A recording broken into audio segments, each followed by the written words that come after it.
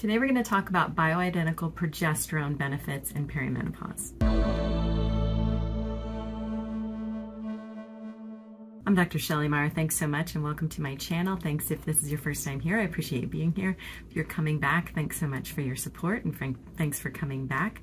I am a functional medicine doctor, family doctor, and registered dietitian, and I post on this channel videos about um, functional medicine, in particular um, perimenopause lately. I post on hormone balance and I work with patients every single day on hormone balance and also on gut balance and gut um, gut microbiome and SIBO, and you can check out some of my other videos on that.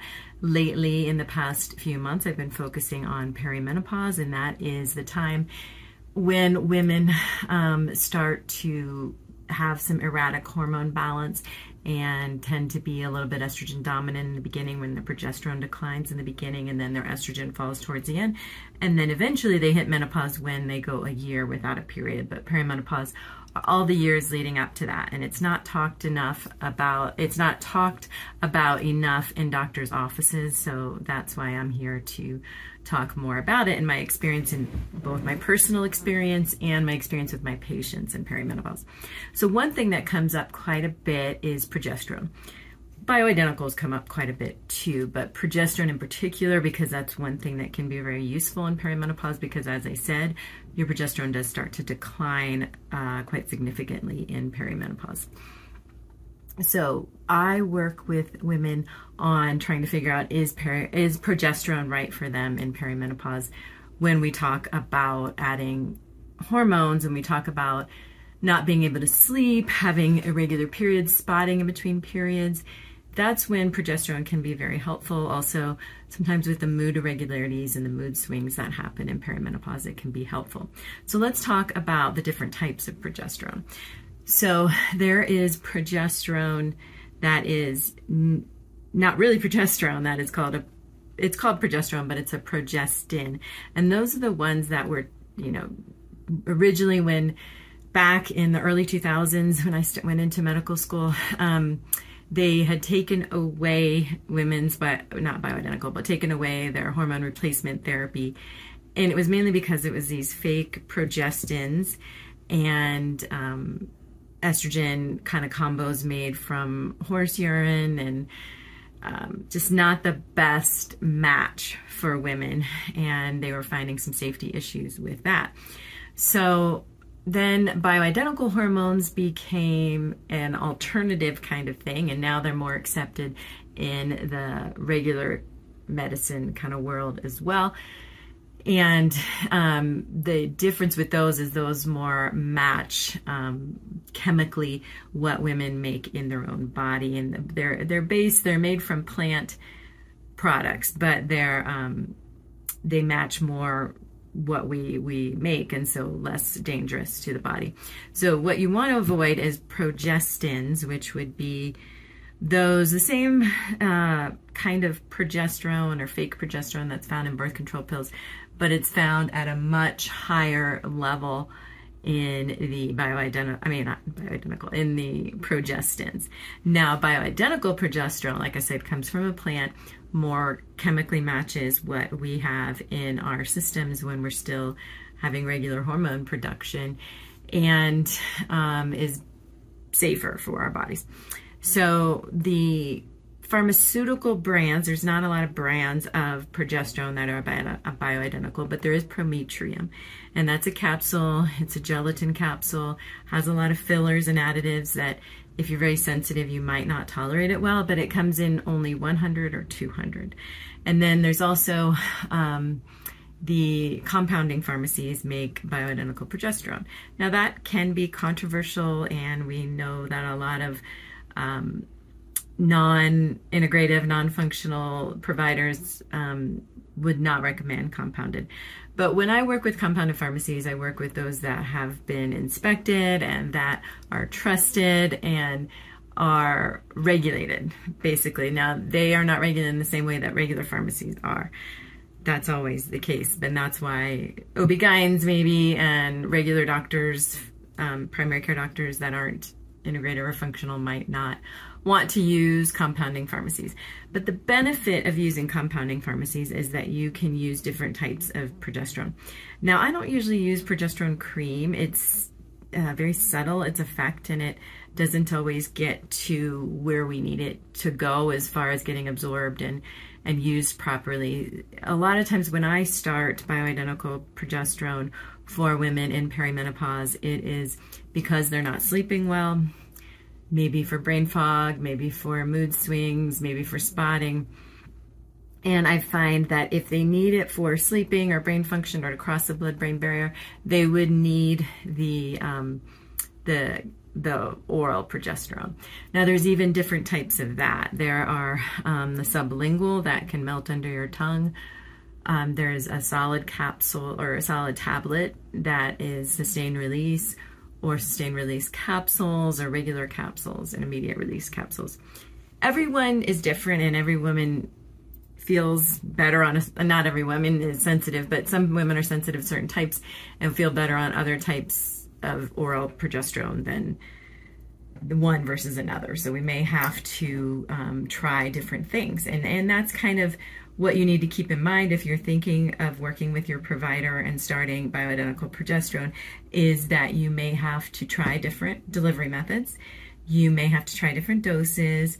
It has a U-shaped curve progesterone, so you can have some side effects from not having enough progesterone that can mimic the side effects of having too much progesterone very confusing in that way, but very interesting also. So what I find with side effects of progesterone, if it's just not the right dose for you, or maybe even not the right approach for you, are sometimes water retention, um, sore breasts, um, sometimes some irregular bleeding can happen when you either don't have enough progesterone or if you're taking too much progesterone. So any of those, you got to find your right balance with your provider. And speaking of that, I am not your healthcare provider. I don't know your individual history. I don't know if bioidentical progesterone is safe for you. If you've had a hormone receptor positive breast cancer, you want to talk to your doctor and your breast oncologist about bioidentical and if it's safe for you. You also, if you have that in your family history, you want to talk to your provider. Anytime you're considering, it's going to be a prescription anyway, but anytime you're considering taking bioidentical hormones or hormones, you want to talk to your doctor to make sure that is safe for you and that you've explored all the options and the pros and cons. I can only tell you what I've done with myself and with my patients. So but I have found that progesterone can be a game changer for sleep, in particular brain function and mood changes and even sometimes energy levels. Now, also circling back to if um, you have too much progesterone on board, you can also feel some fatigue. So you may want to, if you're taking it and feeling the sore breasts or fatigue or even more irritable on it or water retention or weight gain. The weight gain would be from the water retention. So talk to your doctor. Now, some women will experience weight loss, and that means they're probably on the right, if they needed to lose weight, on the right dose, um, or they're sleeping better, then they're on the right dose. They're not too tired, they're on the right dose. So generally, um, we the like prometrium is available in 100 and 200 and that is the prescription at the regular pharmacy kind of progesterone but generally we start around that dose um, in perimenopause, maybe at like 75, but it does depend on the woman. And we would, if you're still cycling regularly and having those symptoms in the second half of your cycle, where you can't sleep, the insomnia is really severe, or night sweats are really bad, that's another sign that you might need progesterone, then we'll do it in the second half of the cycle. If the periods are really irregular and you're towards the end of perimenopause, we may do it most of the days of the cycle with a three or four day break in there um, to give like the uterine lining a break there. I also recommend if you're going to start a bioidentical progesterone to um, get a, a, baseline pelvic ultrasound, transvaginal pelvic ultrasound, and make sure your mammograms are up to date and stay up to date on those. And then, you know, yearly also get a pelvic ultrasound again yearly to look at the uterine lining and if it gets too thick to either cut back on your dose or stop it altogether. But again, you have to work with your provider to find out what is right for you. I just find that bioidentical progesterone can be a game changer in those situations of mood, sleep, um, night sweats, and um, even this the spotting. So um, let me know what you think in the comments. And if you've tried that, you can look at some of my other videos that are related to sleep now. But stay tuned. I'm going to also tell you some um, natural options if you don't want to do bioidentical hormones.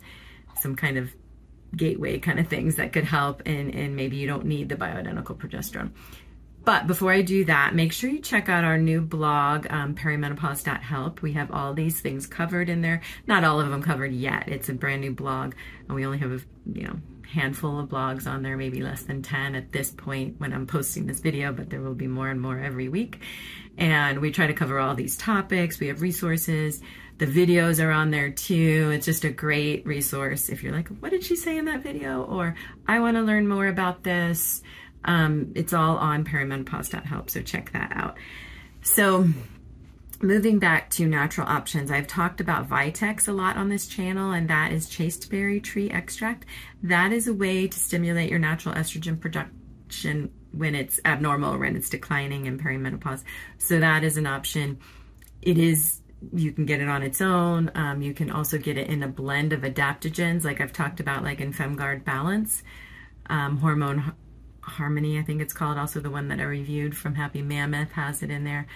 Um, and there are some other options that I, will put in the description of brands that I trust. So you could try that if you'd like to not go into the actual hormone replacement therapy. If you've tried Vitex and haven't had luck with that, um, let me know in the comments. Let me know what else you have tried. And there are some other adaptogens that can be helpful and I'd love to learn more about what you want to hear more about on the videos and the blog. So take a look in the description. There's some recommended brands on there. There's some playlists on there. And I so appreciate you watching. If you like this, please hit the like button and the subscribe. Hit the like, thumbs up, and the subscribe button to be um, to know to be subscribed to the channel, help the channel grow, and the the bell to be notified when I post new videos. So thanks so much for joining me. We'll see you next time.